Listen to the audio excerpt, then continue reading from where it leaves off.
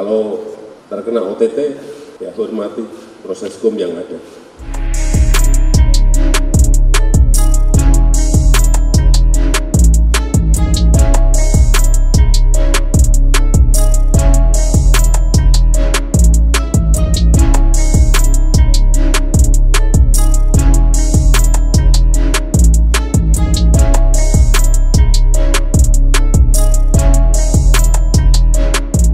Pak izin bertanya isu lain mengenai Kabazarnas yang semalam eh, ditetapkan sebagai tersangka KPK.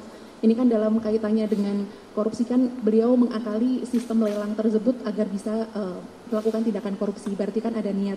Sementara selama ini pemerintah kan menyatakan bahwa sistem lelang itu bisa sangat mengantisipasi korupsi. Tanggapan evaluasi Pak Presiden seperti apa? Ya, perbaikan perbaikan sistem di semua kementerian dan lembaga terus kita perbaiki terus. Perbaikan sistem. Seperti misalnya e-katalog. Sekarang yang masuk mungkin sudah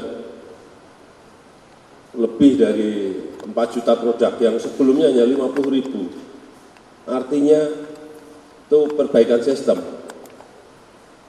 Kalau memang ada yang melompati sistem, dan mengambil sesuatu dari situ ya kalau terkena OTT ya hormati proses hukum yang ada.